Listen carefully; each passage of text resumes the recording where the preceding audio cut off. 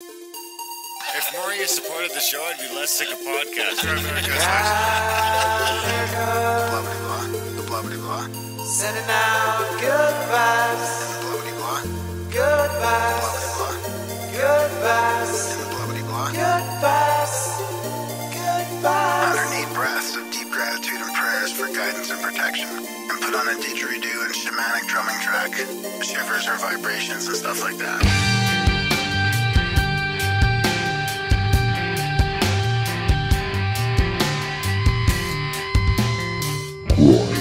Okay,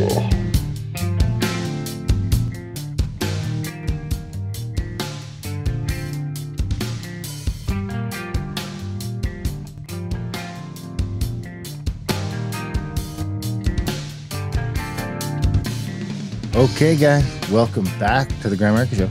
Coming at you this week with uh, past guests and I'm sure fan favorite John C. Dvorak of No Agenda fame. Uh, of course, we've always had this weird big audience crossover with No Agenda. I mean, they were always way bigger than us, obviously, but it seems like we were both kind of coming up still in different. They were still growing big time when we came up. So, and we were Graham became a knight, so we produced some shows, and we just ended up with this a, a huge crossover between us and the No Agenda guys, which has been great. We ended up on their stream all the time. We're always on the No Agenda live stream in different parts, and uh, it's been great for us. So it's great to have John on the show.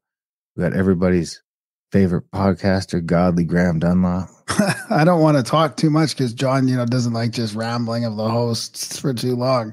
So there is a timestamp to the interview if you don't want to listen to our intro here and our our lazy ramblings. Um, actually, just thinking about that, I don't think I have a full bio bio ready for JCD, but I don't think we really need one for that. Um, but yeah, he, I'm surprised how many listeners actually. I really appreciate the listeners that uh, that donated to No Agenda would give us a shout out, like America shout out. I mean, I really think that showed that like we did have uh, we did play a part in some of their uh, in their producers. You know, they they would say, "Hey, I got here from Grimerica," and that was always awesome to hear. Grimerica donations.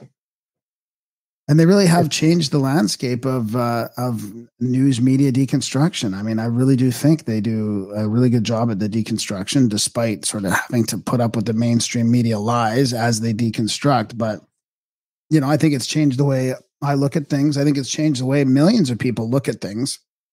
You know, look at it at a deeper level. Uh, plus, they both come from the media atmosphere, so they they know how things are tailored to suit a certain narrative and how things are actually produced that way. Like, you know, I I- don't think you can see it if you don't if you don't come from that media background. You don't realize how pre-produced it is. Exactly. And they just do theirs like he says on the fly, right? They just do, and we do that too. I mean, we don't, but but ours isn't really like the same type of show as theirs. But um, they it's a performance art, is what he called it.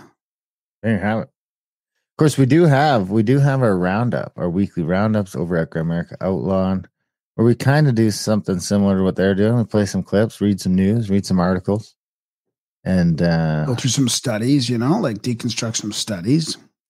yeah, kind of the lazy ramblings with purpose. Yeah. And with some clips. So we've been doing that over there. It's not easy to do. And uh they do a great job over there. So how's the coast there, Elon lover?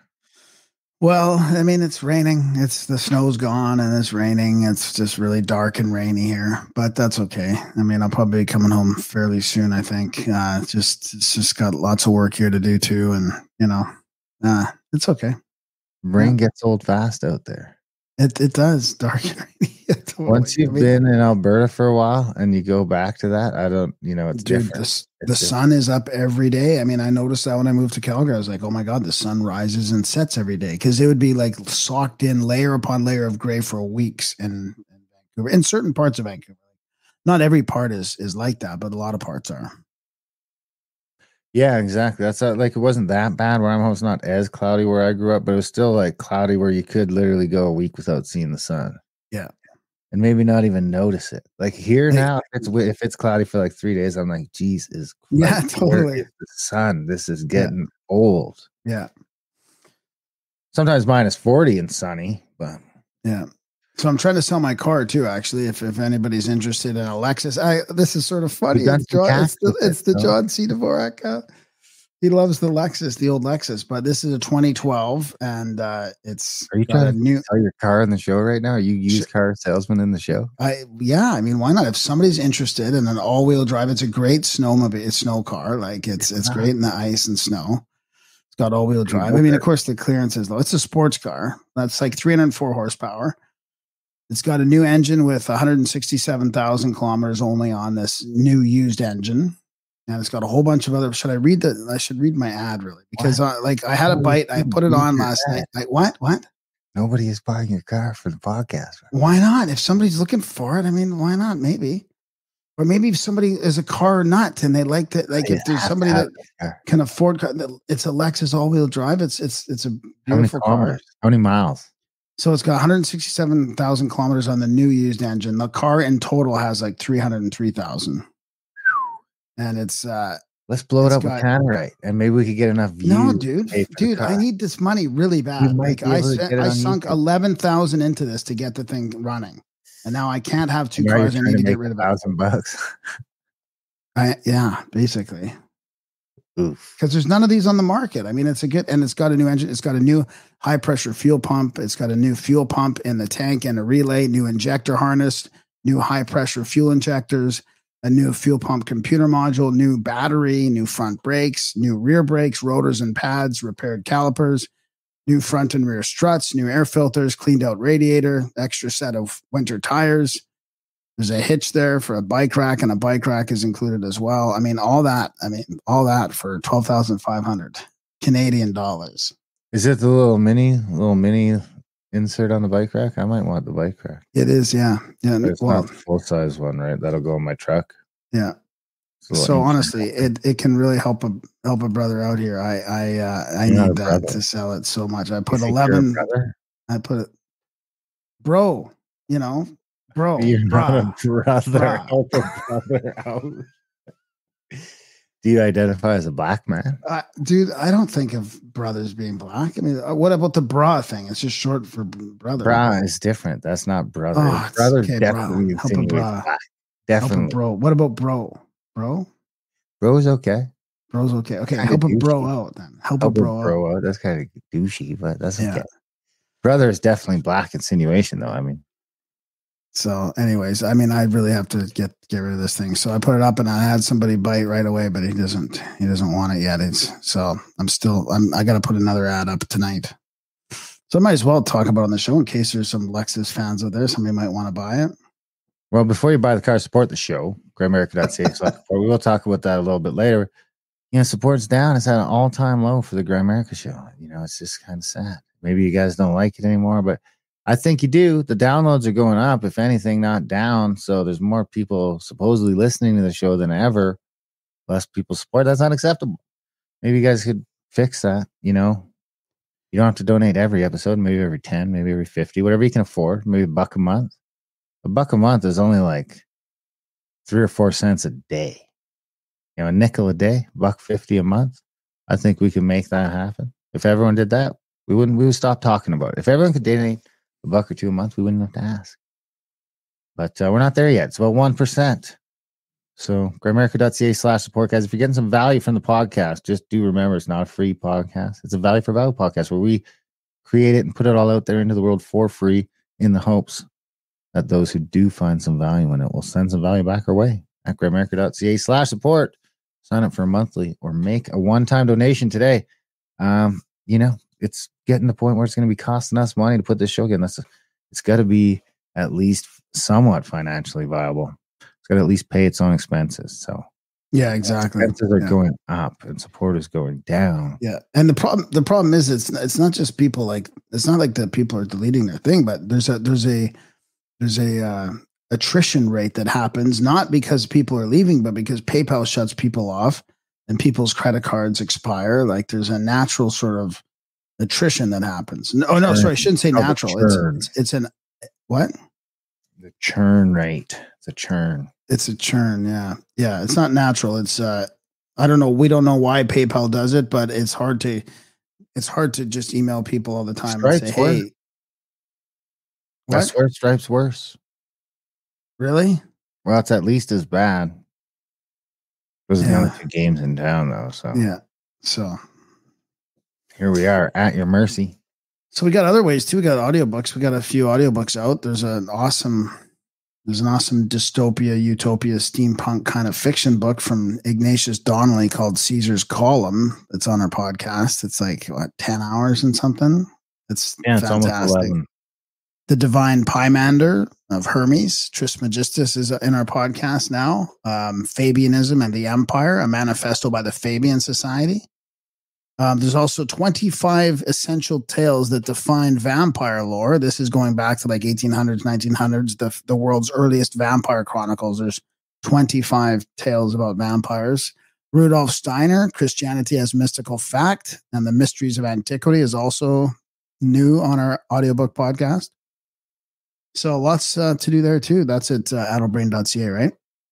Tons of stuff. Tons of great stuff. Yeah. Adultbrain.ca or Adult Brain audiobooks. If you just want to search in your podcast player, it is by uh, amount of titles. I'm pretty sure it's the biggest audiobook podcast in the world. So And there's more coming all the and there's more coming all the time. So you're going to come back home, Tesla boy? Yeah. How'd the Tesla do the next day? Because we listened to No Agenda cover the same thing I did. I didn't know that at the time. I did want to mention that when I played that clip, I hadn't listened to No Agenda yet. I, But- The Tesla thing. I was We I was said- expecting them to deconstruct it a bit more, to be honest. Yeah. We did though. So anyway, the next day you had Tesla problems again, did you? Yeah, well, it just it just was just losing losing charge fairly fast, and you had to had to go out of the way to charge it. Because they mentioned the 30% Tesla supercharger thing, but uh, you were having problems at home, weren't you? Even charging yeah, at yeah. home. The supercharger, the, but there was one time he charged it. He tried to. He thought it was charging in the supercharger, and it wasn't. So now I don't know wh- whose fault that was. If it was the supercharger's fault, or if it was the, you know, I think it was because the, he just tried another one and it worked. So he just, you know, that's why I said it was more of an infrastructure thing than the battery thing because he's he's had no problems charging it uh, at the Till it got supercharger. cold. What? So it got cold. No, no, no. Then it still charges okay. They don't run out. They don't run out. Like there was that and when the No Agenda guys played that clip. There was that thing about uh, oh, it's it's not going to charge under thirty percent unless you precondition it or something. There was some weird, and that's I don't think that's true. That's why I think it's a hit job on Elon. Elon, they don't like what Elon's doing on X right now. On, on They're what? pushing back on X. On Twitter? Yeah, You just refuse to not call it Twitter, huh? I don't. Well, know, I'd- dude. I've I'd been like- on it since it was X. I've only like been on it since it was idea. X. About uh Yeah. getting someone out. How would I do that? Let's ask listeners to like maybe everybody should email in or All right, report. here, let's start the Great Grimerica uh, Twitter reinstatement, reinstatement program. Email Twitter, Yeah. contact Twitter any way you can. Maybe at them on Twitter, at Elon, Let's wherever let's you make it- can. make an op out of it. Operation Operation X reinstatement. No, no, no. I won't be a part of it unless it's Twitter. Oh, Operation Twitter Twitter. I've never been on it as X. So as far as I'm concerned, X is not even a thing. and I've only been on it since X. That's it. That's and you're weird. the official tranny of the show. So Not uh, tranny, yeah, sorry, that's not the right word. You're the official drag queen of the show. We should So have made it official that you had to dress up as a drag queen if you won. Operation Twitter re-up, maybe. Yes. Like that one. And then whoever gets us back on gets a free lifelong subscription. So what do people have to do to get? That's a good one. I like that. If somebody gets Darren back on Twitter, we'll give them free like a lifelong Substack subscription to subscription and a- everything. yeah, Audiobooks, all the podcasts we do. right. Everything. Yeah, the Everything. full meal deal. Graham will uh, send you a calendar of the 12 months of Graham. the 12 calves of Graham. I found an old calf pic the other day. Did you when you were still Yeah. jacked? Yeah, it was Calves must be more jacked now that you're carrying around an extra 50. yeah, yeah. So what How's do they have to do? So what do people have I to just do? got to to- get me back on Twitter. That's So it. how- I don't okay, so know what how to do do they- because I can't get me back on Twitter. So, okay, but I'm here's what last John's- guy to ask. But John suggested you get somebody else to do it. So so the appeal what he what he's saying I think is to get somebody go through the appeal process for you because uh, you've been you know blacklisted or al- algoed out. So do people go to the appeal process and say that get Dry America? Like, what was your old handle at Well, Dry America? put it in and ask what handle it pertains to, then you have to put in at Grimerica, so you might already be in the box. Then you know what I mean? Well, no, maybe it's coming from a different IP or a different. Uh, Yeah, because I've tried it from like a bunch of different IPs, and even when I was in America.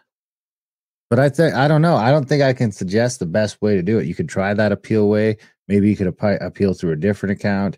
Maybe you could appeal through a fake account, uh, just an at. Hey, somebody, please read this or something like that. But I can't get through. I've been trying for a year and a bit now, and it's an auto response within like 20 or 30 minutes minutes of me asking if I can. It's uh, no one's there reading the emails that fast. It's definitely an AI program I'm stuck in. I think John's right. It's a bit of code that that no one knows how to get to and no one knows it's even a problem. So just get me back on Twitter and you win. That's it. You'll be uh you'll be the hero of the day in what what was your actual? It was at just at Grimerica. That was it. Okay, so super easy to remember. And I'm was just looking for a way, like, isn't there a way you can- podcast? It was at Grimerica and was just Darren the Welder. If you go back to the original few posts, it's just me talking about the flames and welding stuff. And then you went down that the path of. Uh, Then I went alt right. I got the- caught up in a bad crowd. You went to um, what's the what's the word? There's a word for it. You were you were um I was uh yeah. What's that word when they you were radicalized? I was radicalized Yeah, by podcasts. Yeah. And now I'm on the government list and I'm subversive and it's just I don't understand how this happened. What have you done to me, Graham? yeah. It seems like you've gone in the other direction. I know it is. It's very strange. We're sort of swapping swapping shoes here. That's it. Swapping shoes. So it's warm here again. I was hunting pheasants the other day, got to shoot at some pheasants. Seen there's at least six pheasants living on my property. Wow. So that's like my little weekend thing. Now I You're get just killing the them now. just I haven't got one yet. Pheasants are hard to hunt without a dog, especially Hmm. now in the snow because they sent, tend to stay roosted. And the ones that are alive in the winter, these are the ones that are, you know, they're like uh the clever ones. They seem to be roosting in trees, which is weird for pheasants. So I'll get one eventually. I mean, I'm not like gung ho because I don't want all the pheasants to be gone either. You know what I mean? I go out for an hour in the morning. well, yeah. That's the thing. You don't want to just kill all the. No, I'm gonna try and see if I can buy a bunch in the spring and release them. So you think you could find God and become like Father Graham before September, or No, no, Rabbi Graham? no. Can we just make our own religion? I mean, what's that work? That's just yeah. That's like Grimerica religion, right? I mean, You're the Father Grimerica? That's creepy. Father America. Yeah. Hmm. Anyway, so you're not stopping through any way back? You're just flying straight over? I, I don't know. I might be if this car doesn't sell. I might have to pick it up in Calgary. So it's Oh, is the the car car. The car is in Calgary. It's an IS three fifty. What car's in Calgary now? 2012 black IS 350 with an extra set of tires and yeah. You can park it here if you want. If you don't want to bring it to Saskatchewan. It might be easier to sell in Calgary, but I mean, I don't want to burden you with the administrative part about showing people the car and taking it test 10%, drives and bitch. stuff. Yeah. I can't take 10% because that's like more than you're going to make. I'm not making, I'm not looking to make anything. I just looking you're, to, gonna make I, you're just looking to break even. I just want, I just need to sell it. That's all. I mean, you know, Yeah, yeah, I know I it get it. sounds desperate. It's probably not the best, you know. That sounds kind of desperate because he's not coming from a strong negotiating position. I'm broke really bad and I need to sell it. Like ever since Amazon kicked us off, it's been a it's been a steady like climb back up to where we were, and it's it's been a tough ride. it has been a tough ride, but we're getting Um, there. I'm not uh, pulling any punches. We're like uh, halfway there. We're halfway halfway back to where we were with audiobooks. So I'm getting I'm looking for that's why I'm on the coast working, and I got to work when I get back to Saskatoon to find other jobs, working all day, all night, whatever it takes. Podcasting like a motherfucker. All right. Do you have a? Did you find a bio for Mister Dvorak? I mean, no, I mean, guys- I, I just get a say he's like, well, no, we, we got to talk about the eclipse first Oh, because I mean, you know, this is uh this is in Adam's territory, but he I won't go. to get him to come. He won't come. No. Yeah. I mean, should we said I- advertise it on the show on no agenda? I don't think he cares about that. He's just like, I personally am protecting my property. Because he's is he if I was in the middle of it, I wouldn't leave my shit. is he in the path of totality? Yeah. Wow. Yeah. He probably literally lives within like 45 minutes of the bros Wow.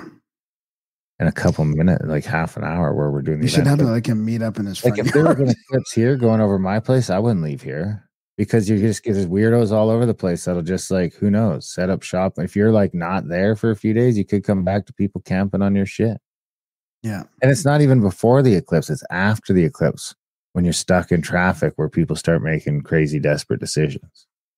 So, food for thought. But uh, we are doing the clips.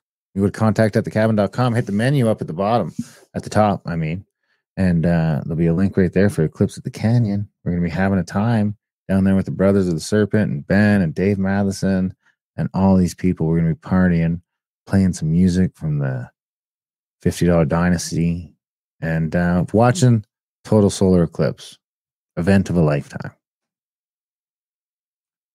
I think we'll leave it at that. I mean, if you guys like the lazy ramblings, we've cut them short here and there, but we do the roundup. That's 40, you know, basically 45 or 50 minutes for free every week of us just lazily rambling, but with a little more purpose in here Yeah. and laughing at uh, the news and Yeah. The Canadian government. which seems to be falling apart at a rapid pace. So you're not doing a bio then? Well, oh no, yeah, he's just. I mean, he is.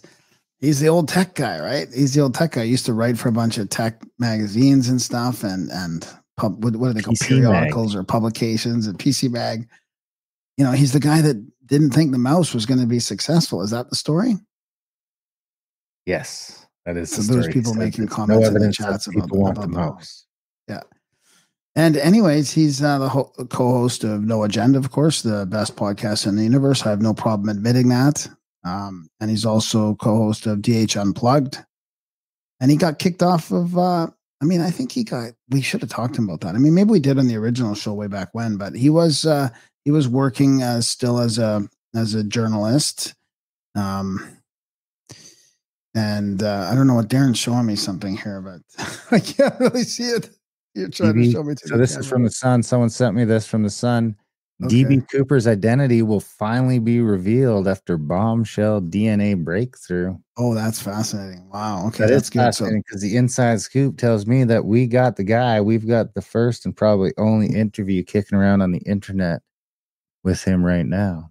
And he Mhm. just happens to be coming back on our other podcast later this week. yeah, Grimerica Outlawed later, later this week. So, John. That whole DB Cooper thing could still blow up for us. Oh yeah, total. Oh, totally. Yeah, That John. Five thousand dollars might not be a total loss. yeah, exactly. Well, there's another thing. I mean, you know, we just flew ourselves to have, you know, in the back east somewhere to try and you know interview some some guys with uh, Brandon Powell and at our own expense, of course, but. Maybe that'll pay off in the end. Anyways, uh, John was kicked off. What was he? What was he? Who was he working for when he got booted out Twitch for talking about five G? Or it was like that Leo Laporte show. The uh the Twit. It was like, wasn't it Twitch? No, no, no, no. He's writing for Twit, the somebody Twit at the time Oh, that was I don't know. I don't know, but that was because he recent. because he, wrote like one article on five G, and I don't think they liked it. Then he wrote another one on five G, and uh, oh yeah, that was naughty, naughty, and he got kicked off. So now I think he's just podcasting, and he writes of. He's got a Substack too, an awesome Substack. absolutely. So I'll put I don't know links it's to his Substack, no agenda. If you guys haven't heard it, I mean, check out our Rick McCoy episode. It's there in the back. I I don't have the number in front of me, but if you just Google Grimerica Rick McCoy or DB Cooper, it'll come right up. And uh, it's an amazing chat with Rick. It really is something fantastic. We'll have another good one this week. For now, you guys just enjoy this great chat with the one and only John C. Dvorak.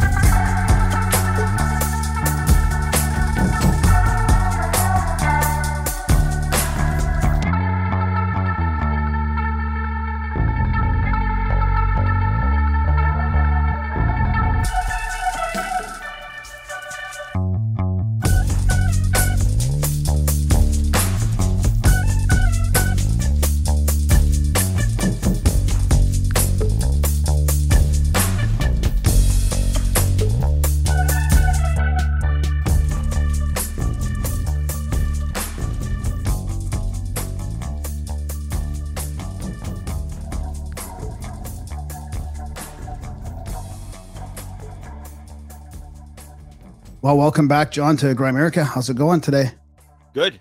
It's Good. raining. We're getting some rain finally. Unlike you guys who just get nothing but rain. Yeah, exactly. Uh, we you've been it's been requested that you do the whole show in your Canadian accent. Oh, you know, I could try, but I'm not sure that I can get pull it off for a whole hour. Eh? Hey, maybe.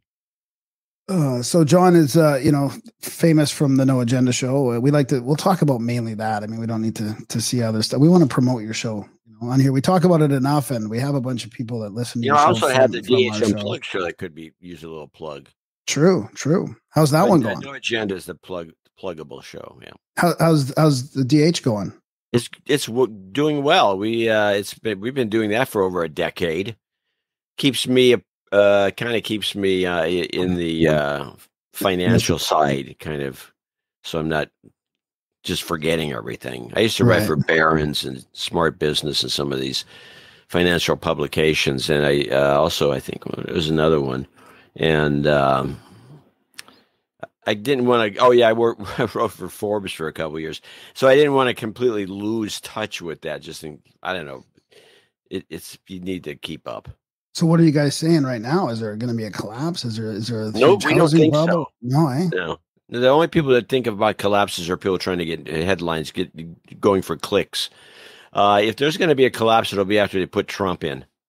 I think you know Adam and I are convinced that they're setting Trump up for the collapse. They're just let let things get ruined and put Trump in and let him take the heat for it. Oh, that's interesting. Yeah, It and he makes won't be able to handle that. Homeless, uh, immigration, all- everything. You know, make him deal with it. Yeah, that's a good point. So, Good so in that in that in that theory, you kind of want they want him to be in, I guess.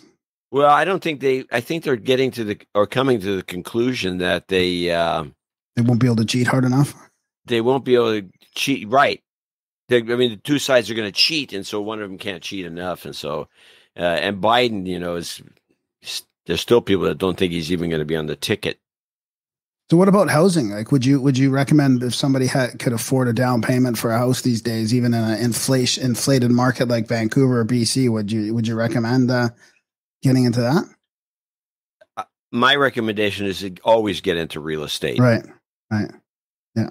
You know, unless you you got suckered or so. You don't buy a Brooklyn Bridge or anything like that, but buy real estate. Yeah, Even like the city centers and and stuff like that. Or do you think I'm it's safer? To, do you think it's safe in the safer in the city centers and like a city like, say, like a San Francisco or something like that? after the after the whole thing collapses, but not right now. Not right now, yeah. but like It a rural like- it looks setting. like- always- It looks like a scam. It looks like they're trying to set up these cities so they pretty much collapse and op, uh, offer these uh, real estate opportunities. Uh, that'll be buy low, sell high kind of thing. Um, it, it, it's a known fact that people have been doing this to get into real estate cheaper. You screw up the place. That's kind of exactly what our entire country feels like right now. I mean, anything within an hour of a major city or an hour and a half of a major city is so inflated that you're paying, you know, 70 grand, 80 grand a year in interest when you start out. Yeah, you have to uh, you have to pick your place. So how have you seen that that before we get into the no agenda side of things, how have you seen that sort of side of things change over the last 40 years? Has it stayed pretty steady with the real estate side of things? Has it after the collapse in 2008 and sort of this weird stock market blips. thing? Those collapses are so short lived, it's ridiculous. Uh, real estate is just has been my entire life has been the best investment you could make.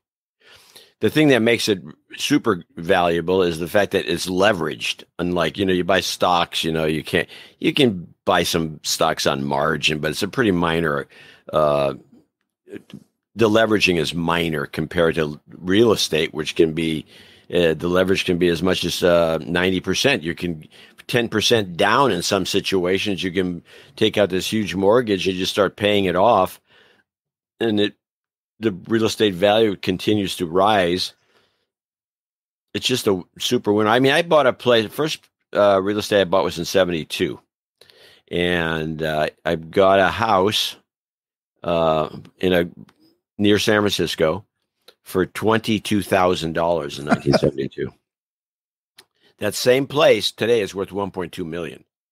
And so, yeah, there's a couple of ups and downs, but twenty-two thousand to one point two million in one piece of property, where and you leverage it. So my down payment was like twenty-five hundred to maximum. It was um, it wouldn't have been over four thousand dollars, but I think it was like two or twenty-five hundred.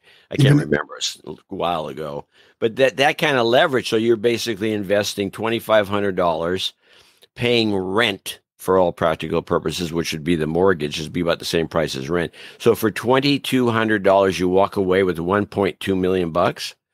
I mean, come on. Even even though it's been 50 years.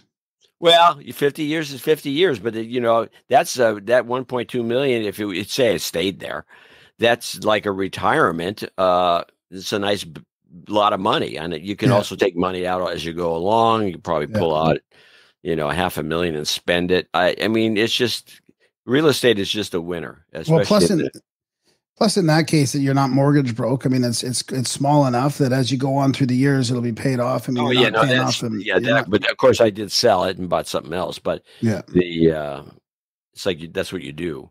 Yeah. and you ratchet. up. So even so, regardless of whether you're going to live in there or not, like if it's a live-in place or or an investment, uh, you still like like real estate. It's also pretty cool in California that they they freeze the property taxes. So when you move into a place, you the property tax is set, and they can't raise it more than just a few points. They can't just jack it up like they do in Washington State and other places.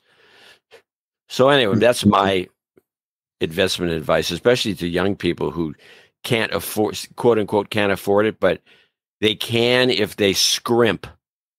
I mean, you anyone can scrimp for like I'd say five up to five years. You should be able to put put put something together.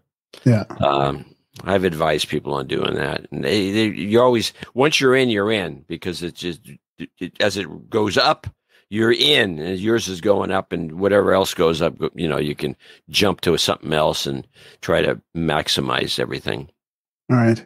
I hope you don't mind if we get into a little bit of inside baseball about podcasting and stuff. I mean, I'm sure people would want to know a little bit about that. But I mean, I do sort of have some some overall questions like about the landscape of the whole podcasting market. Like, what do you think of it nowadays? How it's changed for for not just you guys, but for everybody. I mean, it has kind of shifted quite a bit. I think it's out of five years. control.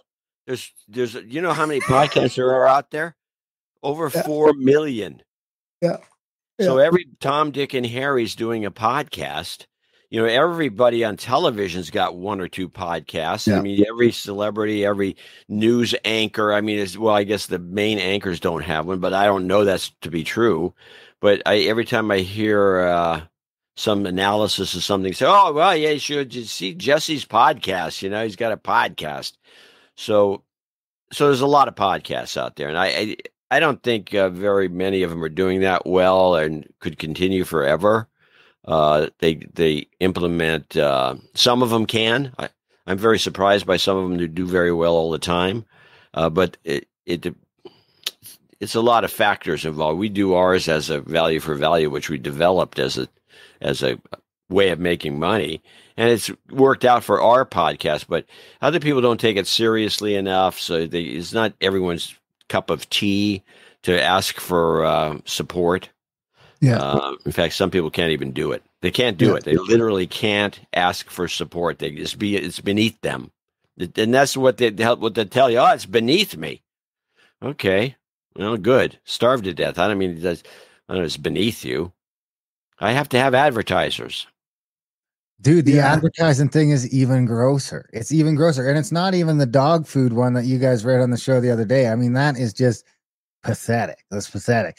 But even I forget what I was listening to the other day. I think it it wasn't Tim Pool. It was something, but it was like a decent, you know what it was? It was Canadaland. I was listening to Canadaland.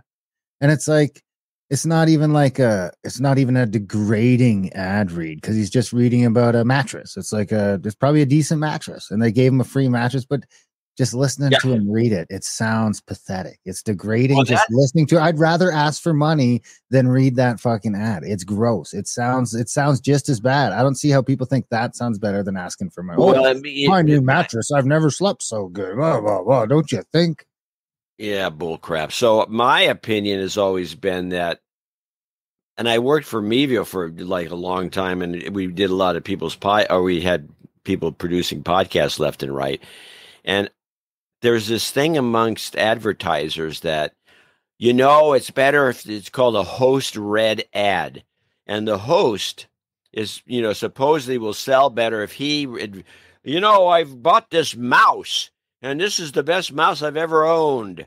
And they, you know, they read the ad, and it's a host read ad, and it's supposed to be better than a produced ad, which, in my opinion, is the way it should go. I mean, I th- I think a, somebody produces their own an ad with a professional announcer and all the rest, it's going to have a better sales angle than a host read ad. But no, no, no, they don't think that way. Uh, this is a comp. These things are faddish they want for because some guys can do them well. And I will say, for example, I worked for uh, Leo Laporte forever at uh, TWiT, and Adam and I both agree that the only reason that network and his shows are successful is because Leo is one of the great ad readers. He's like a professional ad reader, and he can do what you, what Darren, what you just said. Uh, he can talk about the the getting the best night's sleep ever and sound like he means it. The number of people that are not professional in the business that can pull that off, I don't know any. The guy was in broadcasting his whole life, so he can do that stuff. But most people aren't have never been in broadcasting. They've never taken a even a course at a school, or they, they're just you know hacks, and so uh, the quality shows. Well, I think it's the authenticity that that they think is going to be like. I'd Well, rather have you know a cold You got it made. you'd have a cold read from somebody you respect that like really believes in the product and you kind of think it's it's realer and maybe it's uh I think that's what they're thinking. But the other the other thing is I I, di- I didn't want to ask for money either but I I don't think it was because it was beneath me. I think it's just that I had a hard time asking. I don't really know why I guess. Because at it's the, in the beginning and maybe it was you guys because we listened to you almost right from the start of our show and maybe it was like listening to you guys that actually get sort of uh helped us get the balls to get the balls to start asking Well, I've always told uh, people one of the reasons that you know early on we like we've been doing it for 16 years, uh, going on 17, and I remember like I can go back a decade or say 12 years ago, and we are talking. I I talked to people about. It. I said, well, the problem that most of the uh, value for value um, podcasters have is the way they they don't ask for money sincerely. It's like, a, oh, you know, if you can afford it, you know, give us an extra dime. If you get a nickel, you know, instead of seriously asking for money. And that means often uh, scolding people for not giving any money, which is the trick. And that's a hard thing to do because it's like you get, you get, even from your own family, you'll get, you can't talk to people that way. And uh, no, you can't talk to people that way because that's what, uh, that's in fact the way that most of the uh, solicitors for donations that's the way they all act. Churches do it. They scold the parishioners. They're not you don't see people walking out in church when the uh, pastor or the whoever it is says hey you know uh, we're not getting enough uh, in you know can you up the ante a little bit maybe uh, cough up a little bit more like a nickel a dime a dollar uh, you don't see people go, oh, this is terrible. He's asking me for this extra money. Forget it. I'm out of here. And then they hit the road. That doesn't happen. Um, no instead the basket comes around and, and you have to be if you don't want to chip in it's pretty obvious because you got to pass the basket by without chipping yeah, in. well, well, you, well you, there's ways around that. You can usually the bat. You, usually there's Just put it- envelopes. Yeah. There's always the envelope. You can put nothing in the envelope. Just put it in there, and you're good to go. Uh, just put god bless in there or something you know? yeah, I- you could do that, but most people don't. I, um, myself and my son, we used to visit it just just to check them out. Some mega churches, and mega churches are fascinating. And uh, I always toss in five bucks after you know just to have the to for the knowledge that I gain from visiting a mega church and going through their system. Uh, I don't have a problem giving throwing five bucks in there because uh, or more, five bucks usually. But it, it's not a big deal, and there's a lot of people that have a lot of uh, spendable income, and they don't mind. I mean, some people give us a thousand dollars, two thousand. We've gotten five, and it's not like uh, somebody else can't, you know, is going to get irked because we call them out for not even giving us a dollar. We haven't, which is most people. Um, so it, it, takes a little getting used to the techniques and the uh, and the fundamentals of fundraising, uh, like this sort of fundraising. Once you get used to it, it, it it's pretty good. Do you find the market itself, like the podcasting market? You mentioned millions of podcasts now. Everybody's got a podcast, literally. Everybody, literally, everybody that's been in TV already has a podcast. Do you think that it's it's saturated from the point of view that uh, people that uh, are going to listen to podcasts have already found it. And like especially with your show because you are strictly a podcast you're not just on all these video platforms. So no. somebody's not going to find you on a video platform. Have you sort of do you, th- you feel like you've tapped that market of people that are going to get a podcast app and f- find the podcast and use that technology as opposed to just watching it on facebook x or rumble or youtube or? No not at all I think the market is uh, in its infancy, and we just got started a long time ago because you know Adam Curry invented podcasting for all practical purposes. I mean, yeah, they, he feels obliged to share this this uh, accolade with uh, Dave Winer, who had something to do with it. But in fact, Adam Curry invented podcasting, and he's the one to take who's personally taken it to the next level with podcasting 2.0, which is a big deal that is not recognized. I always tell him I'm going to, he should be getting the, the, Nobel Prize, Peace Prize for this. Um, and I'm serious, he should actually. But so, so we, I, we're in very early, and also was podcasting before I even ran into, uh, uh, Adam when I was doing podcasts with uh, Leo. I probably worked on his show for a year before I started doing this stuff with Adam. So we, but we were in early, like super early, and it and it's like it reminds me of the time uh, when I got into computers. Um, I got into computers seriously in 1976 and I went to the first uh, West Coast Computer Faire, and I I was all jacked up about computers, and it all stemmed from the um, everything in personal computing stemmed from a 1975 article in Popular Electronics, which had highlighted the uh, one of the computers, the uh, I think it was the Altair the Altair was on the cover, and then they talked about personal computing. And so a year had gone by before I had f- caught on to personal computers. And after, and I looked back on, it, I said, a year has gone by, and I said to myself, "Holy mackerel, am I late on this? I've blown it. You know, a year has gone by, and I'm way behind. I'm a year behind." Well, uh, that's an attitude you can take if you look at it objectively. We've been doing it for 16 years, going on 17 for the No Agenda Show, it's in its infancy as far as I can tell. I mean, yeah, there's 4 million podcasts and everybody's trying to do it and everyone wants to do it, but it hasn't settled down in any way, shape, or form. And it is a, a kind of a technology that is pushing is pushing the mainstream media a little bit because if you look at the stats of, of people trusting mainstream media, and especially in the, in the United States when it's only owned by two or three corporate three corporations or so, um, and they push the same agenda and do the same stories, which we mock on this on our show.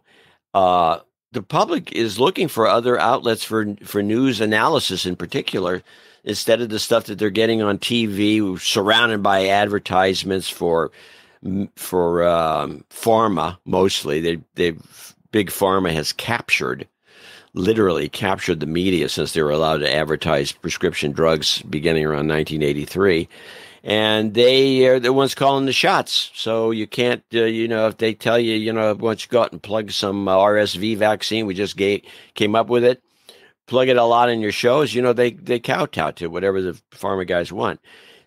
We we can't put up with that. So especially with Vivek now and and Bobby the Op saying that podcasting is going to be the way they go. I mean, that's some pretty big name guys like saying that we have to spend more time on podcasts. I mean, that's what people are are wanting. So, Well, th- they have to spend more time on podcasting because the mainstream media, especially with Bobby the Op, uh, the mainstream media is not uh, amenable to having them on at all. So luckily there is podcasting they can fall back on, and the audience is pretty damn big. I mean, Joe Rogan probably has a 10 million people that listen to his show daily. And that's a lot more than any of these uh, cable TV uh, networks. They have 2 million people, you know, at the most. Uh, you have the MSNBC folks. They once in a while they'll pop over a million, but most of the time it's between 300,000 and 800,000, which is uh, it's just considering all the money that goes into those productions is not that many. Well, what's the Super Bowl even? I mean, Rogan's doing like the Super Bowl is like 20, 30, 30 million, something like Yeah, that. Yeah, so he's doing two Super Bowls a week. Yeah, yeah, it's it, yeah, it's pretty astonishing actually. I tend to agree with that infancy thing. I mean, there is the four million. I mean, I bet you three million of them don't get past episode ten. I mean, I forget what the stat was years ago, but it was a, it was something like seventy some percent of podcasts never get to the tenth episode. It's funny because we had a buddy who started a show and he he quit on seven, which I think was the number that they said was the average number that Yeah, they, they can't do it. most too shows quit on. It's not easy to go ten. I mean, we've only been doing it ten. We did it when we started. I think I want to say it was inside the first year.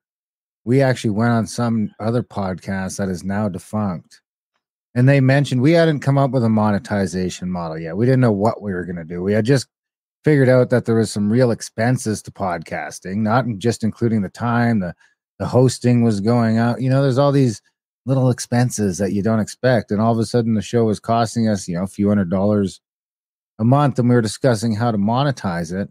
We went on some show, and it, was after the show. They're like, "You guys gotta check out this No Agenda show. I see they're doing this value for value thing." I want to say you guys were on like episode six hundred or six hundred and something at the time, and we've been kind of along for the ride the whole way. We ended up instituting that value for value model, but I I tend to agree. I really think, like I was telling Graham the other day, I was like, we, you know, we've made it through the dry period. In my estimation, I mean, maybe we're still in it, but I feel like there was this this weird oversaturation period where everybody's asking for money and you're one of those people asking for money, but they're listening to 10 people asking for money. Yeah. Plus, a lot of them are still on cable and this and that and the other, but that's going to settle down with the people that can't hack it. um, are already having a share of the market before a lot of these shows are starting. That that plays a role, and I don't know if you agree with this, but I feel like the pendulum is coming back to where you know shows like ours aren't going to be shadow banned as heavily as they are right now. Oh, uh, that's hard to say. I mean, we never dealt with that because we do our own thing. Literally, we have our own infrastructure. We have our own servers. We do, we we serve the show to people internationally from usually from servers that are in Canada and Europe, and so we don't worry about any of that. We watch it, and we say, "Oh, that could happen to you know if we were going in that direction, that could happen to us." And so we've always been we've always shied away from being on a platform that we don't control. And so so we so we didn't pay uh, we still don't seriously pay much attention to people that get shadow banned or banned. I mean i have a twitter account that uh, is obviously on some s- still i talked this over with one of the other twitter people that uh, Erin Elizabeth, in fact, because we we've lamented that the two of us have. It appears to be a um, ceiling to the number of followers we can have, and even when Elon Musk took over, that hasn't changed. And I've concluded that that was because there was a piece of code put in there that where you gave here's a, this guy can't have more than this many followers, and here's how and they hard coded it in the system. And when Musk came and fires half the people, nobody knows how to undo that. That's my theory about the about the ceiling, which won't seem to go. And mine is at one oh one point nine, without Yeah. manually going into each one. Somebody's got to go in manually and adjust that or something to, to if they can even do that, I'm s- I can't get Elon kicked me the fuck off, and I can't get back on, and I can't even. I'll email him. I've I've appealed him probably literally 200 times now. I've tried. Yeah, you're gonna have to get somebody else to do it for you. Yeah, because I'm trying to get some sort of oh, like oh, that's interesting. I'm stuck in this jar that I can't get out of. Yeah, And no you matter, gotta find somebody outside to do it for yeah, you. because You it's can't do within 30 minutes, I get this auto reply that says, "Now you you broke the rules, man. You're out. You broke the rules. You're out. You broke the rules." What rules out." did you break? I Oh, told you're, he's good. You're gonna love this. politician- I told a politician that if she kept getting boosters, she, it was Rachel Notley who just retired. Yeah. I told her, you know, uh, she was the the NDP, the communist leader, the leader of the Communist Party in Alberta, and she kept talking about boosters, boosters, boosters, boosters. This was after you know people were having trouble after the shots. You know, there's clear Yeah, evidence. too many boosters and you're dead. Yeah, exactly. So I said, she said she was gonna telling people to keep getting boosters. And I was like, you're gonna keep getting these boosters. Yeah, why do you you keep getting out." boosters? When the shot doesn't work and the boosters don't work, why do you keep getting them? So I insinuated she was gonna stroke out if she kept getting boosters, and that's what they kicked. me Oh, you for. say, oh, she's gonna stroke out. Hmm. He just Yeah, said until by the you until you stroke out. I mean, so Not it wasn't a threat. It was just. But I'll tell you, people are way worse on there now. And Darren, Darren, what Darren did is mild compared to the people that are pushing back on the Canadian politicians now. So it's just Darren. I think that's great advice, Darren. You got to get somebody else to apply. Somebody, yeah, yeah, if Elon got wind of this, he would just put you right back on. I mean, he doesn't seem like, I mean, that's what I think. Uh, people don't, some people don't like him. I think he's, he's a funny guy and, uh, means well. And, uh, he's an exploitative type of person because that's why he does so well by, you know, selling electric cars and getting government money. And he really knows how to get government money. Uh, the Twitter thing has probably hurt his bottom line and hurt his uh, net worth somewhat because I, I don't believe he bought Twitter for 44 billion. I think he he got money from others and they all put it together and they bought it for some amount of money. I don't know if it was 44 or whatever. Um, but it's not looking good. Would the banks be involved in a deal that big? Like, cause I just read Trump's books. Um, I'd read, the, but he's always talking about. I mean, he's buying all this stuff, and it's like almost all financing. The Oh yeah, but he's yeah, but he, but Trump's a real estate guy and a builder, and so the banks are always in on that. Uh, Elon comes out of Silicon Valley, and that is a different mentality. And these are people that know how to get into other people's wallets, which are often fatter than a bank wallet, with less with less uh, strings attached. So I don't think banks are involved at all. So what did do you, do you want to build on that, Darren? Or No, I mean that's a that's a pretty good strategy. I've been busting Elon's balls pretty hard over the. Uh, I mean, I do use his internet now that I'm out in the country. I don't really. Have, there's not really another viable choice. The Starlink. I will say the Starlink works pretty good. Are you Yeah. on it now? Yeah, I'm on it right now, and I was having problems um, with it. Seemed like it was cycling once in a while, but uh, I got I just got a separate one because if I just like get the kids off of it when I'm doing a show, I don't have any problems. And now I, I took it off of the Wi-Fi. I figured out that on my computer because my Mac Mini isn't smart enough for me to turn the Wi-Fi on, but it's also hardwired, so it's not doesn't seem smart enough to use the hardwire if the Wi-Fi is on at all. So I've shut the Wi-Fi off, and I just don't let the kids on the internet while I'm recording. I've ordered a separate Starlink that I can hook up just for my office, but yeah, I gotta say, overall, other than uploading, which can be a bit of a pain, I've been extremely satisfied with the Starlink. Well, Adam has it, and we tried using it a couple of times, and we had a latency issue because our latency we use Cleanfeed out of England, and our latency is pretty much nil usually, unless some, there's some something going on in the net. But it was not giving us the, snappiness we wanted. Uh, but I guess it gives you enough snappiness, so it's not an issue. So that's good to know. So far, so good, and I didn't even go up to the um like there's a there's a preferred business or a platinum or a business or something like that. I'm just on the regular residential. I'm getting about 200, 100, 100 to 200 down, and about 10 to 20 up. But the other thing that I'm sure is a huge difference is I'm in the middle of Alberta. There's like four million people here. Two and a half million of them are in the cities. So how there's probably not a lot of Starlink usage compared to Well, that could be. Texas. There might be a lot more users I- trying to beam up. Have you watched the videos on the Starlink, uh, re- uh, the antenna that you have and how it works? This is the most fascinating thing. I it's almost unimaginable. This technology that he uh, glommed onto to put this thing together. It's pretty astonishing because those satellites are not stationary; they're just moving around like crazy. And there's and it's that antenna you've had. There's a couple of videos on YouTube that d- describe it in great detail and it's like a jaw dropper. I, but honestly, the show has been a because I lived in the I lived on an acreage uh, before I got divorced, um, and we had to rent a place in town. To, we had to rent a little office to do the show because at that time there was just there was no real, and this was only six years ago. There was no real rural internet technology that was going to do it. It was a satellite thing. It was still a satellite thing. It was like Yeah, the, sat- the old satellites are impossible. Yeah, as soon as the wind picked up or it starts raining, it's not working. And then there's like a giant latency issue all the time. Where the only thing that really works well is Netflix, which I still don't understand how they managed to make that work all the time. But uh, I'll, overall, I got to say I'm pretty impressed with with Elon's thing here because I mean I'm in the now. I'd imagine he'd fall into the same rules as would he be susceptible to the internet rules for the rest of the Canadian providers? Because I do feel like in some ways I trust Elon more than anyone else in Canada with my internet connection. Well, so you would know better than me.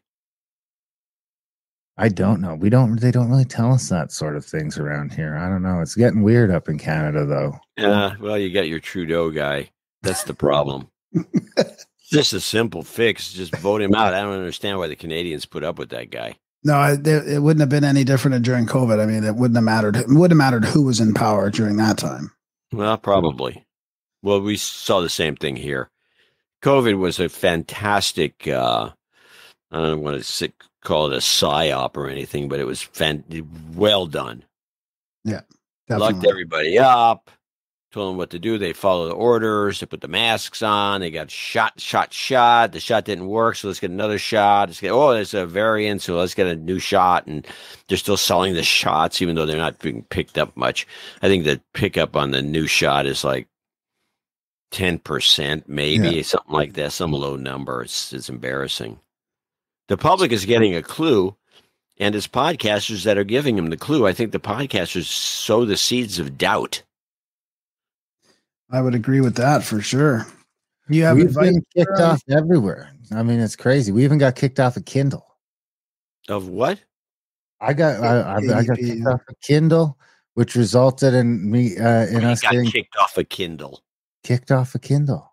I've I've had How'd And you then get we ha- kicked off a Kindle? How did they kick you off they just Kindle? kick you off for crazy stuff, and you can't even talk to real people. They th- this was so the No, last but none of these companies, yeah, high tech has done the job on uh, avoiding actual customer service. I think the last company that knew how, what they were doing with customer service was a Utah-based company that did WordPerfect, and their whole thing was office offices full of of people that would take calls. And then somebody realized, I think it was that Google realized it. Yeah, all these main companies realized it. Uh, that that what why? So what if they they're angry and they want to call us? Screw it. So the last time was for uh, like copyright infringement stuff, and I sent them everything to prove that there was no copyright infringement. And if there anything that was, it's it's out of date It's anyway. on Kindle. So every yeah, and everything's in the public domain. Like no, no, no. They they kick you off, and it's just the same response every time. So in- every instead of saying It's no- AI. Instead of saying no, you can't do this, and you go back and forth with, re- they just shut you down. Like they close your Yeah, account. it's easier. And they don't have a phone number. So there's no phone in people. So i've you try an email you try an email try an email. And then you're like you know screw it. I'll just start a new account. Oh no we closed that down account because we know it's you and you're not allowed to have two accounts. Yeah, that's they a do break in the rules too. They got that part down. they got that Uh, part down pat which wasn't even a big deal for us because it's kindle. You're not making any money on kindle. But this was like our entryway into our whole audiobook thing where we were you know making a Uh. living. And that then you know Well, you a guys four screwed months up. later, Hey. they're like, "Hey, if you can't have a Kindle account, you can't have a an Audible account either. So you're kicked out of here too. We'll see you later." Well, I didn't know you guys. I didn't know I was on such a controversial podcast. There could be trouble for you. I've done the show before. Nobody called me and said, "Hey, don't do those shows anymore with those guys. Those guys are are subversives." Well, do you have a any- call. Do you have any advice for other podcasters at all while we're still on that topic? Well, you guys should retire immediately. you're just uh, under under you're under a barrage of of hate threats. You name it. I don't know. It's terrible. Well, Maybe yeah, that's what happens these days when you're when you're looking for the truth. When you're vote your first deconstructing the news, you know. Well, Yeah. No, I have no advice for podcasters. I, my my advice is all well. I do have some, and, and since I'm I can yak as much as I want on this show, um, my advice is that provide the audience with something distinctive, somewhat entertaining if you can, and something they can't get anyplace else. That's the main one. Uh, it has to be something they can't get anyplace else. It is either some sort of information or or personalities that are people think are great or whatever. Uh, that's how you are successful. Most podcasts, because I listen to podcasts, most podcasts are um, regurgitated uh, Democrat talking points. It seems to me, or or worse, they're just they're just or guys are just shooting the shit like you would get at you know at a bowling alley. Uh, that's then they're not interesting. Uh, I mean, our podcast, even though it's produced on the fly as a as kind of performance art, ch- changes the topic once in a while. I mean, we we do a topic for ten minutes. We think we we've overdone it. I've listened to podcasts where they'll, they'll take one subject that we might do for ten minutes, and they'll spend an hour and a half hashing it over. Oh, and they talk about it and over. And you know, there's another thing is Fox News is a good example of doing this in a different way. Fox, I've started, I'm not a big Fox fan, but I do like a couple of shows, and I like Gutfeld quite a bit because I think it's well written. And uh, and its structure is new. It's a new sort of, of structure. But if you listen to Fox, you say you spend a day listening to Fox show after show after show after show, they'll revisit the same 10 topics. Each show will revisit the exact same 10 topics. And when you get to Gutfeld, they're doing the same topics, usually not 10 of them, but they're doing the top five topics with a humorous bent, but it's the same exact topics. And these podcasters that have these this idea that they can hash over one topic for an hour and a half and keep people interested, uh, it's impossible. I don't know what they're thinking. Can you can you talk a little bit about your process and and let's say like let's say we were going to do a, a show like yours, kind of like your like. Can you talk about your sort of your clipping and your process of your deconstruction process of what you and Adam do? Well, there's a couple of things that are. It's hard to do uh, uh, for other people to do what we do because we kind of got into a. We're both skeptical, but in a from a completely different perspective. His perspective is is uh is just different than mine. He has a different way of looking at things that I do, and we both, but we can both see bullshit, but we see it slightly differently. So we can, one of us can see bullshit and the other one can say well that's bullshit but this is the real bullshit. And then we show you know that kind of one-upsmanship thing we do all the time.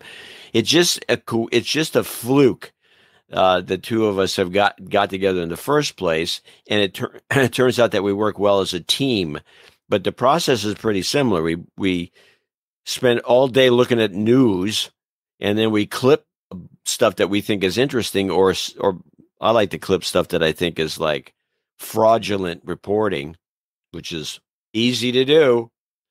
Uh, and Adam does pretty much the same thing. We both have people that feed us stuff. And uh, then we have to go over that. We have to be careful about that because you can get you can get caught up in some old piece. Somebody said, "Look at this." It turns out to be ten years old, uh, which is fine if you tell people it's ten years old. uh, it's just it's an almost impossible. We don't I, like I can't give you a uh, a diagram uh, about the, the process because the we do our own thing individually and then we put it together on the fly Yeah. and it tends to work i'd say 98% of the time there are shows that are not good and but they're pretty rare because uh one of us will usually have a bunch of stuff that is interesting at least one of us will Yeah. and uh, then we can both talk about it. I think it, it.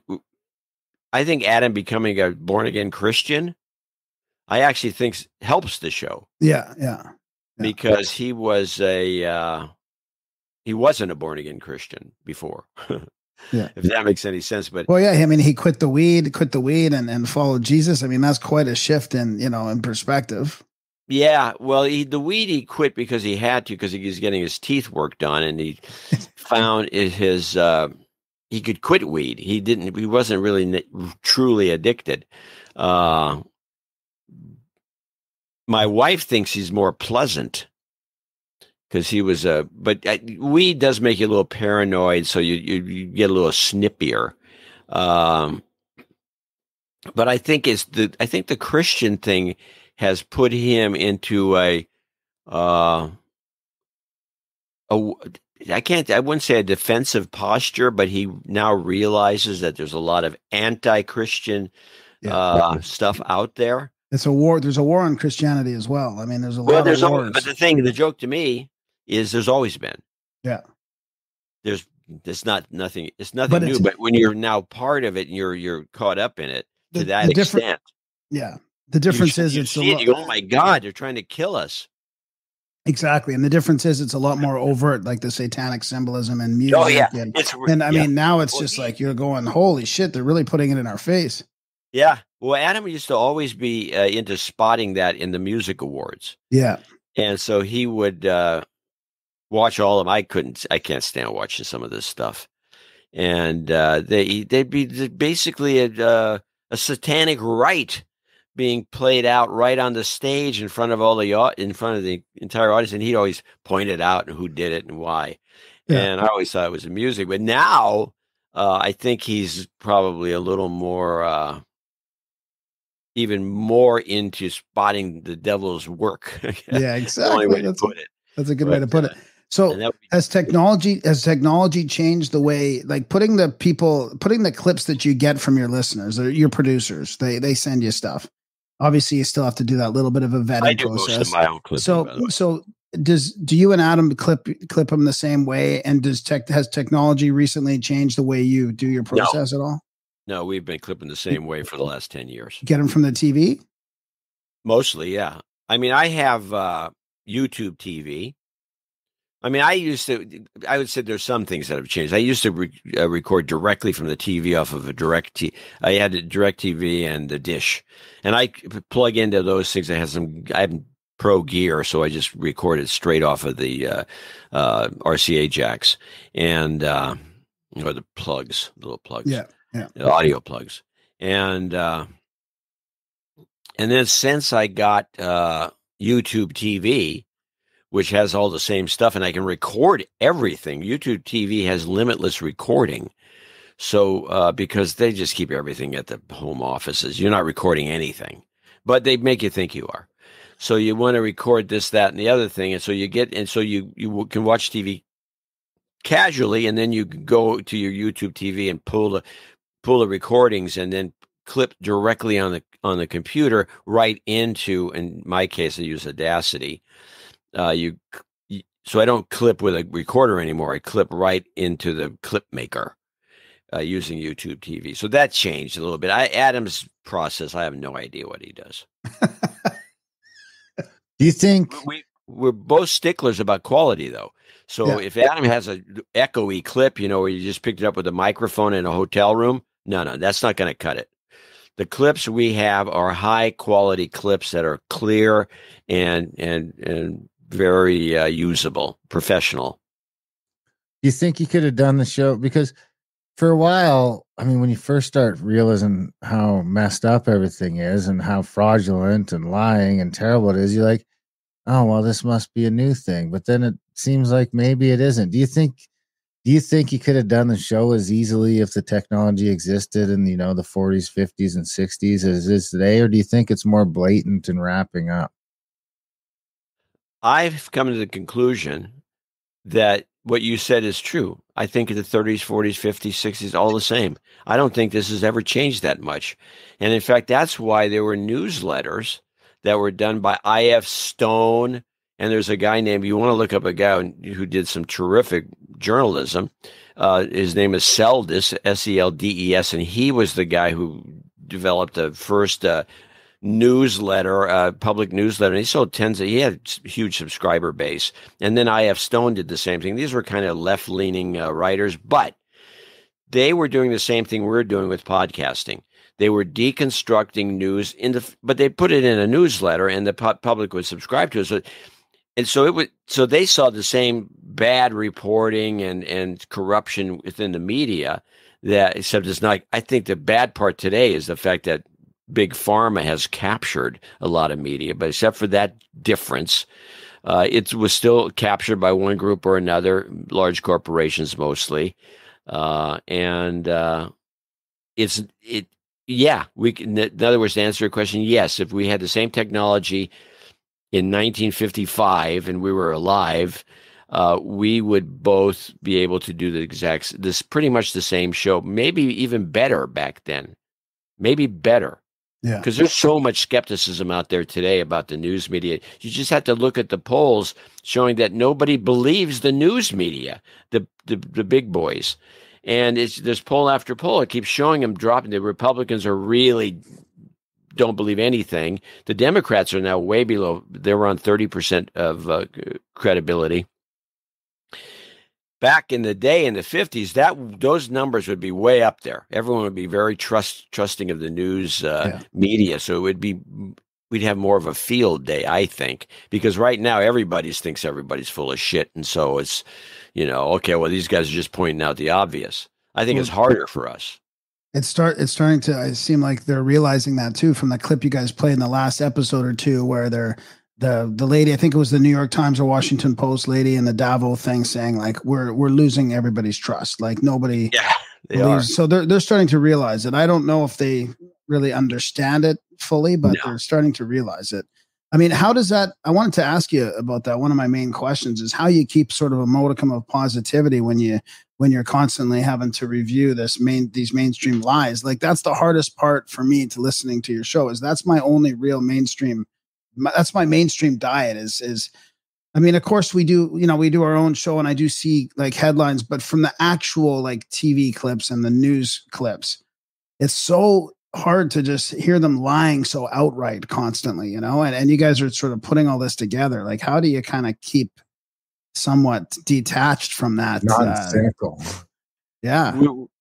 we're not detached, but we just think it's hilarious. I mean, to us, it's a form of humor. And I think we try to express that so people don't start taking this so serious. This is the problem a lot of these podcasts have. They, they're just, you know, I could almost name a few of them. They're very, very well attended podcasts. And the guy's like, he's freaked out, you know, and he's, oh my God, they're going to do this and they're going to take over. And the next thing you know, we're all going to be slaves. We're going to have vaccine passports and they won't let you do anything because you're going to have a credit, social credit score just like they have in China. And that's what they're trying to do to us now with digital currency. And we're all going to die. And so, uh, okay, well, maybe. I mean, it's possible. I don't see it uh, personally. I mean, Adams trends a little bit to thinking that way, but he still thinks it's funny. And I just think it's hilarious because I don't see any evidence that any these guys can't pull off anything. They're incompetent, and let alone digital currency. I mean, they had their shot here with COVID, and now they can't even get anyone to take the shot. You know, the, the vaccine, I should say, different types of shot there. Uh, the vaccine is is dead in the water. And now it's created because of the skepticism that's been put out there largely by podcasters, the guys like you in particular. Um, the public is like backed off from all kinds of vaccines. They're they're rethinking all these vaccines. Is it, is it all bull crap? I mean, we played a couple measles clips from the Brady Bunch on the last show, which was I thought was an eye opener. It showed that the uh, measles was pretty much eradicated. It wasn't eradicated, but it became nothing more than a nuisance in the late '60s. And it never was a thing that you'd want to get a shot for. You just get it, and it was no big deal. I remember having it, and you know, you get a rash. It's like a a bad week off rash, school. and you got to be inside. Yeah, You got a So week off school. You got a week off school. yeah, you got a week off school. It's great.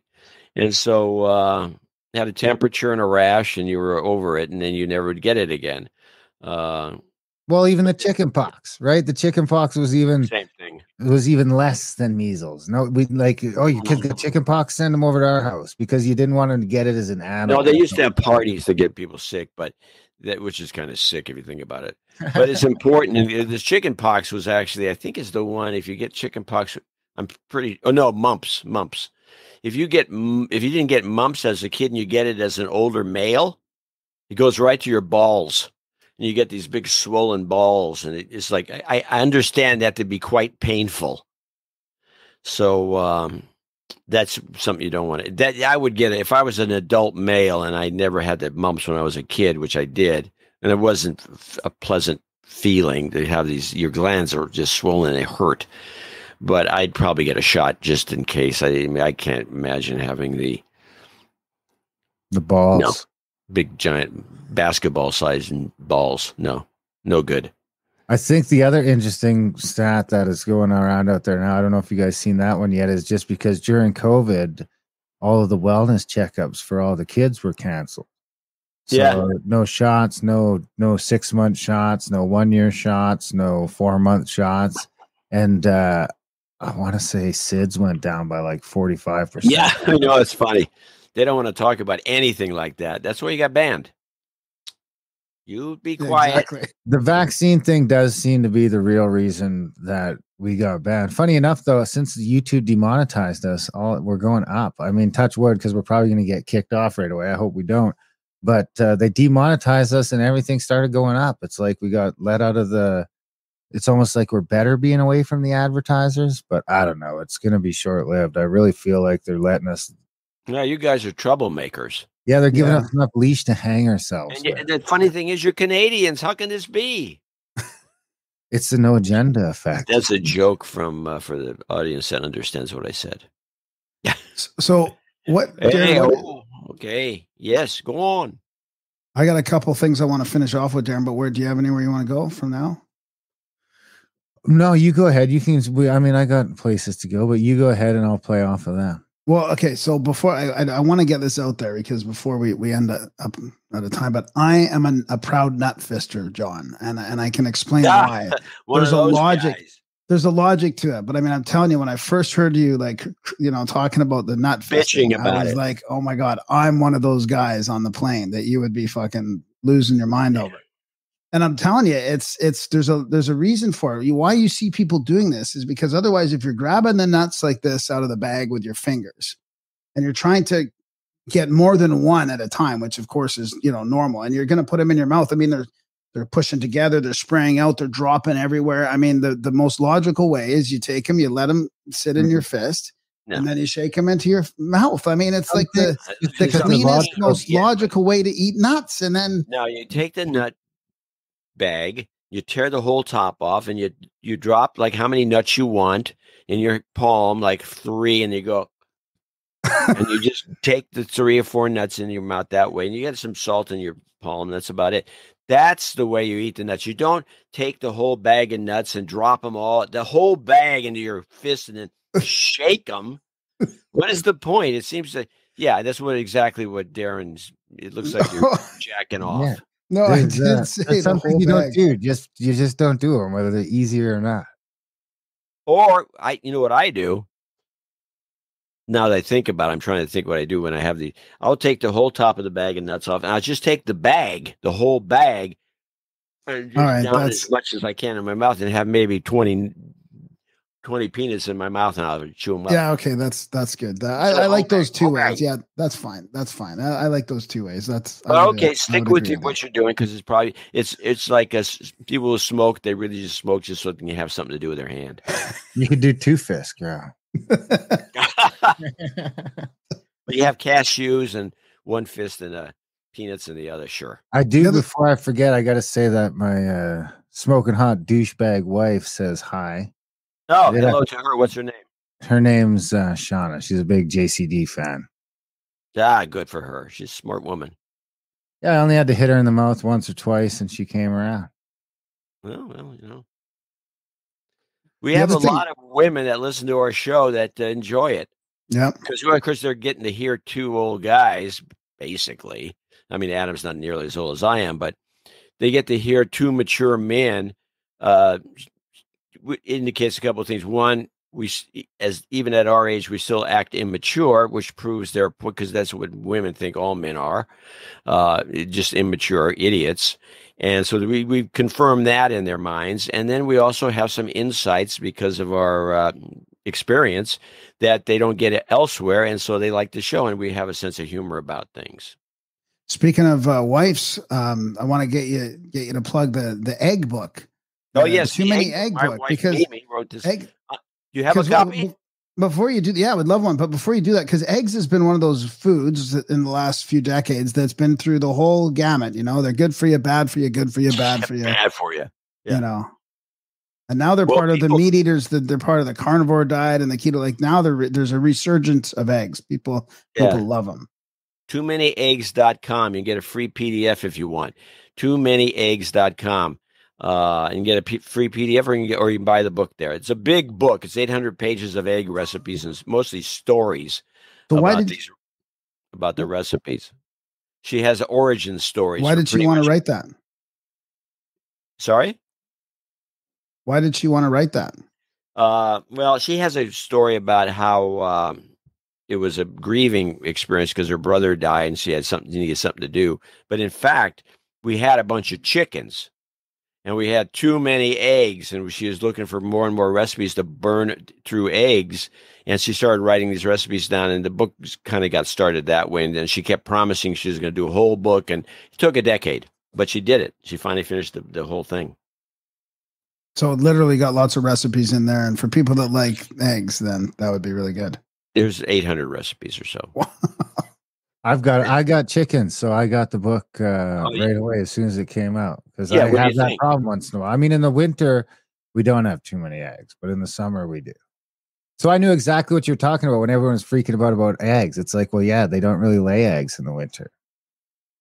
Yeah, it's it's amazing when you have a few chickens and all the eggs start accumulating. It's like, what do we do with all these eggs? We've got chickens so we can get some nice fresh eggs, but we didn't expect to get this many. And the chickens don't care, so they're laying eggs all over the place. I mean, they don't lay in one spot necessarily. They should. Some chickens are, are good about that, but most of them just lay an egg when they feel like it. So that you stepping out in the yard, and you step in one. Um, so we, yeah, too many eggs. It's a good book. It's a it's a classic. So, what makes you think Bobby is an op? Uh, so, we're talking about RFK Jr. I mean, I, that is one thing that really interests me personally on on why you guys, because you guys are very different in what you think is op. Sometimes Adam thinks something's an op, and sometimes you're calling things ops. But you both seem to agree that Bobby is an op, and Yeah. and I know there's some some obvious things there, but he's been pushing back on Fauci and the Like, vaccines hard. works for the CIA. You think that might have something to do with it, or who does? Who does? His sister? I think is his sister-in-law works for the CIA, and she's become his campaign manager. I think she's taken over from Dennis Kucinich, and she's an agent. I mean, oh, she's retired, but she wrote a book on it, and. um I mean, I had a joke with Adam once. I said, "Well, it was a the CIA is pushing him to be president as a make good for killing his brother, and or his son, his father, and his his his, uh, His uncle. uncle. Uncle. But he, uh, but I've never believed that the CIA killed uh, John F. Kennedy. I, I into the mafia thesis that was brought up by ex mobsters, and it's not, it makes more sense. But uh, and I've never been totally convinced that uh, the CIA killed Robert F. Kennedy either. But that one, it, I could be convinced otherwise.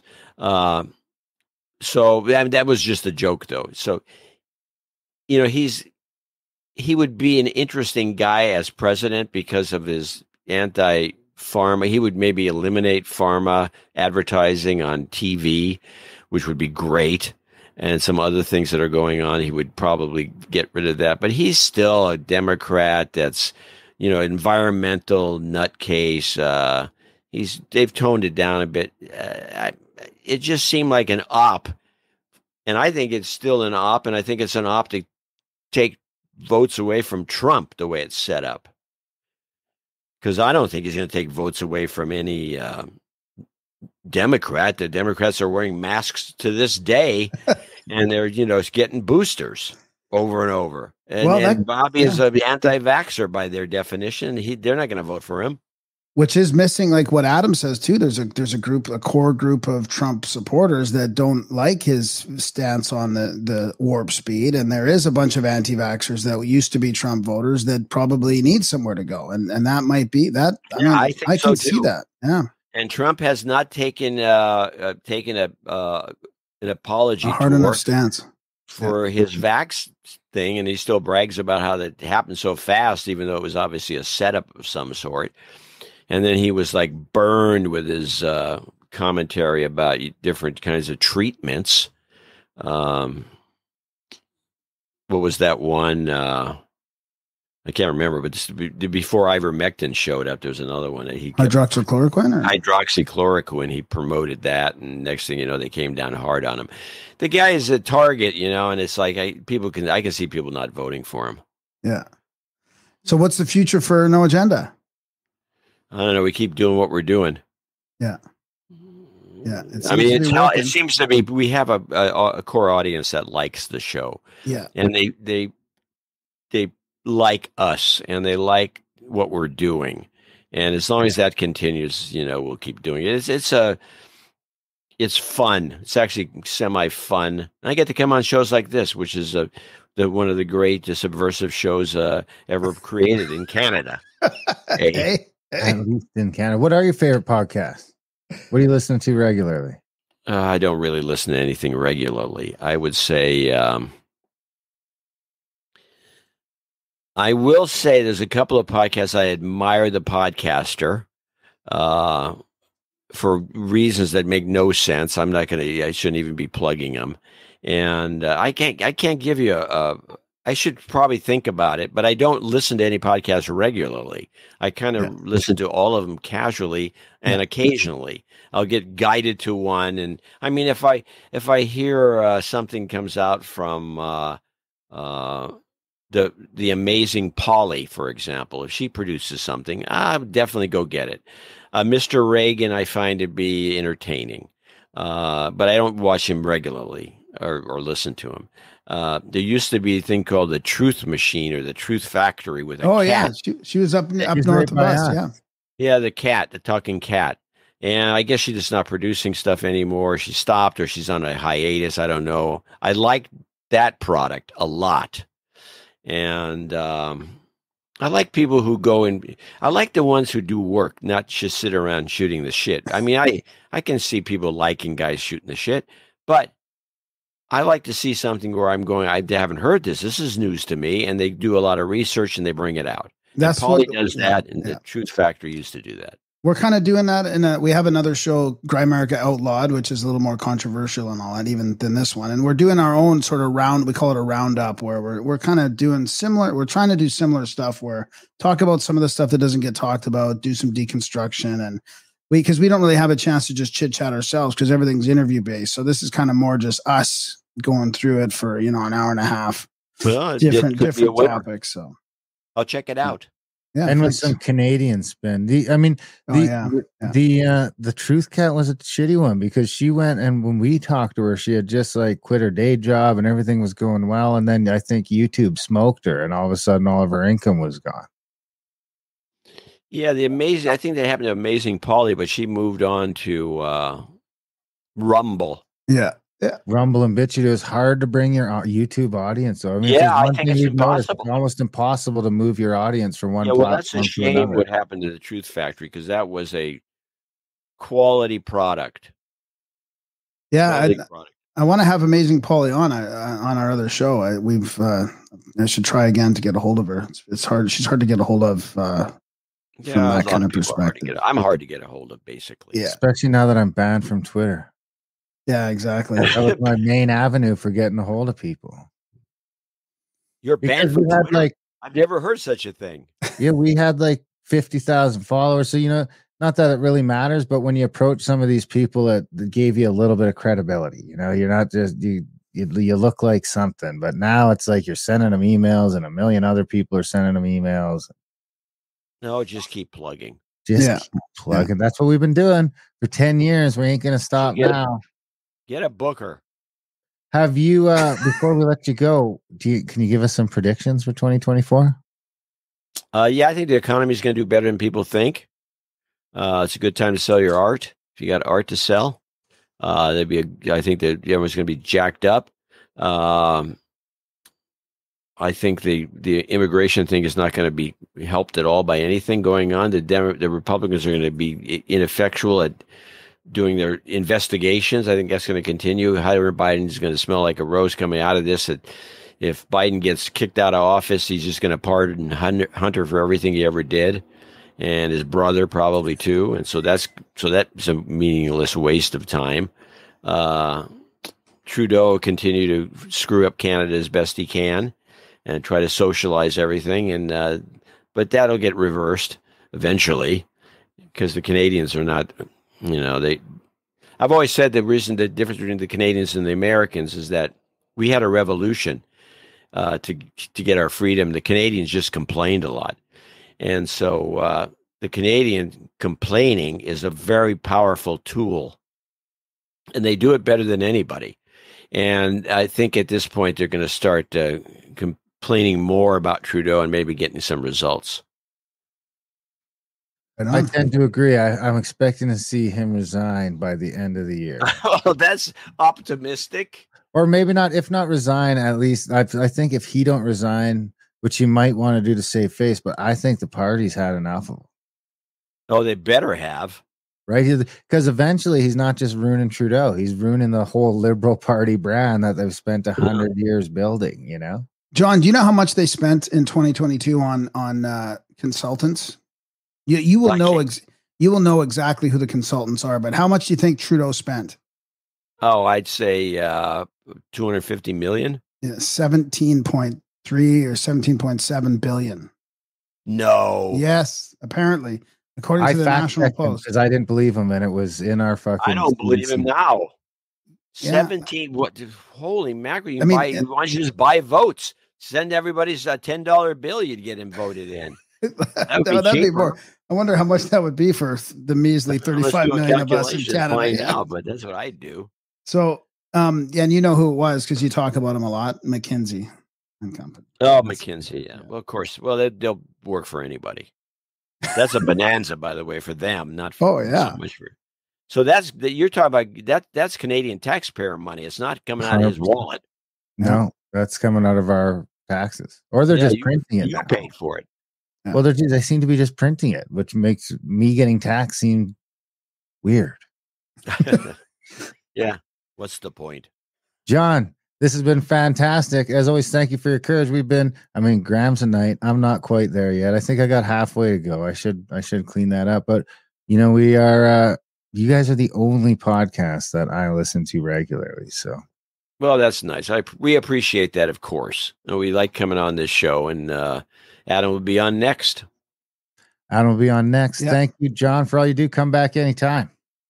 Thank Stay you. See you safe. guys. Adios. And that was a chat with the one and only John C. Dvorak. Everyone's Oh, loving man, it. What do you think? Oh yeah, the people in the chat were just loving it too. I mean, yeah, he's he's got everybody loves him. I I kind of uh, I see it now. Yeah, for sure. I mean, I always have, but it's just good to see him physically again. You know, he looks like a, you know what? He looks harder than I remembered.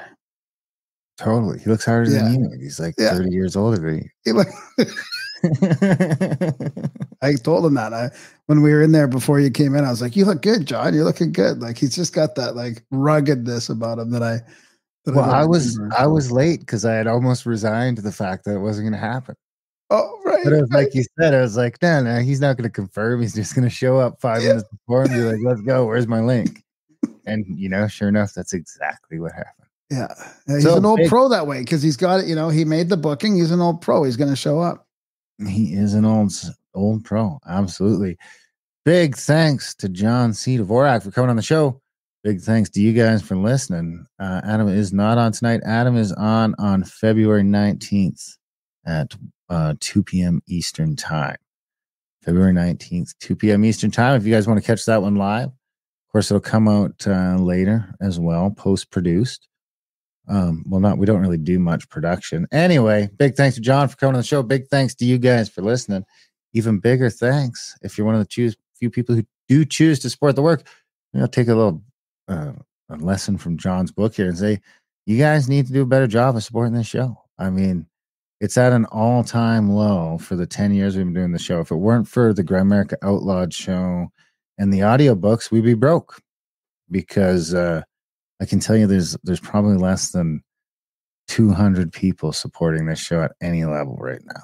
And, you know, a lot of those are a buck or two bucks a month. So, you know, it's barely sustainable to keep this show going. The fact that we love it, we love talking to you guys, we love interviewing people like John, but uh, we could use some support if you're getting some value from our little podcast here.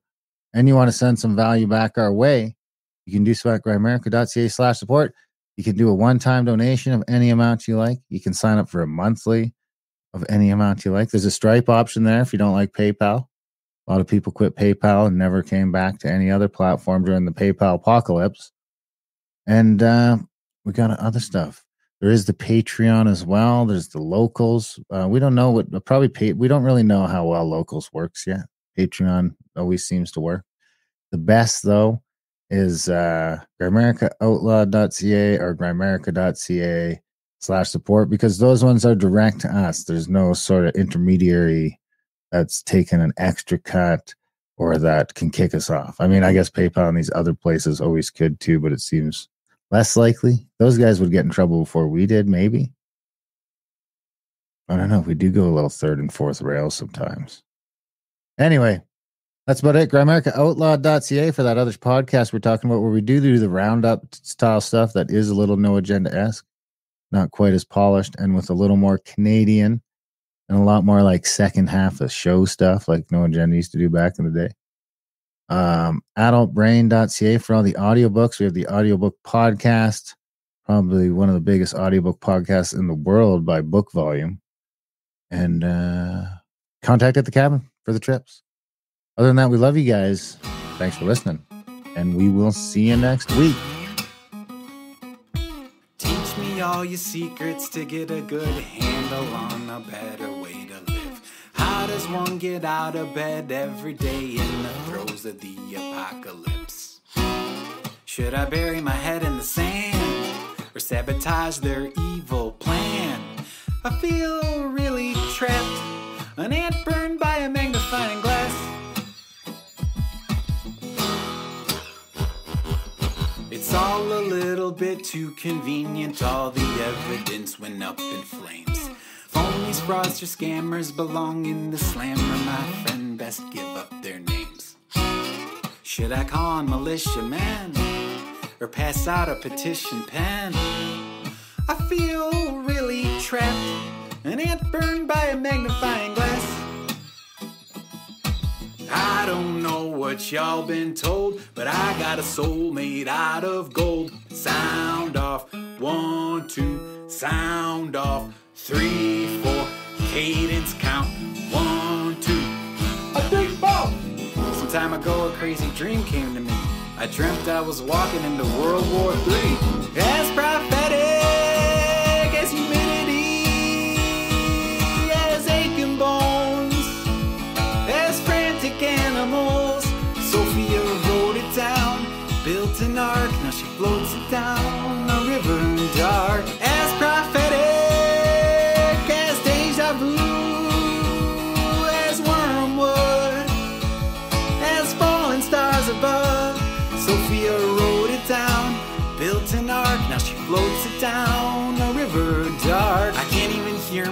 thoughts for the life of me over the din of a bruised and broken culture. The media spins and splatters and spins and clatters, and I cringe because it's psychological warfare. Don't you feel yourself getting really mad? How did we let it get this bad? Don't you feel really trapped like a brain in a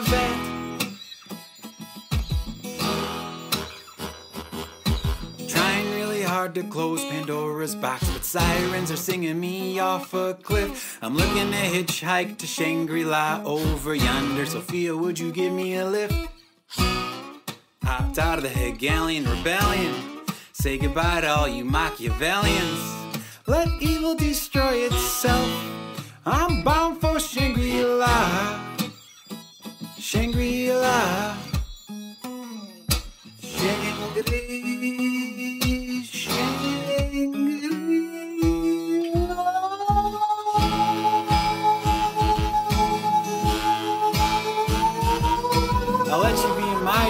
I could be in yours. I'll let you be in my dream if I could be in yours.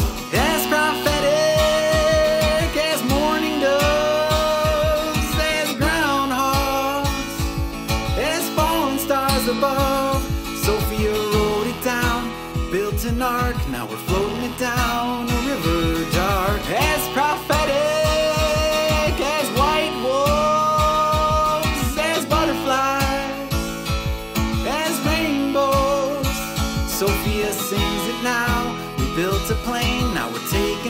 above a river